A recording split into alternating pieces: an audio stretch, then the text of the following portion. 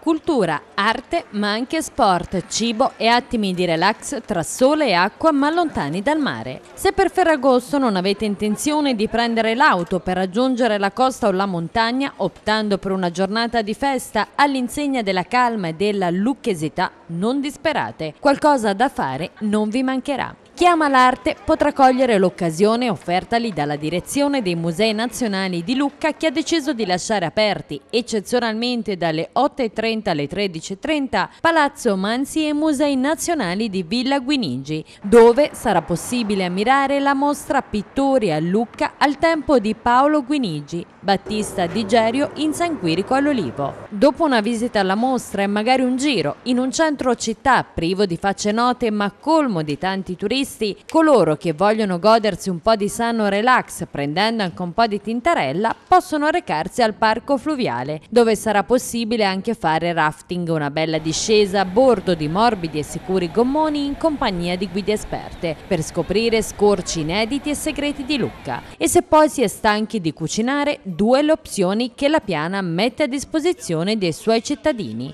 un ristorante o tortelli, grigliata e specialità nostrane alla festa di di Noè, promossa dall'Associazione Sportiva Parigi a Camigliano. La Piana pensa poi anche agli sportivi che nemmeno in un giorno di festa vogliono riposarsi. Per loro l'alternativa ad arte e relax la offre il territorio di Altopascio. Come ormai da tradizione anche per questo Ferragosto lungo le strade del comune del Tau si svolgerà la 32esima edizione del trofeo Carlo Alberto Pellegrini. A Marginone infatti alle ore 14.30 sarà dato il via a questo importante appuntamento per il ciclismo ciclismo in provincia di Lucca che porta lungo le strade molti appassionati e sportivi.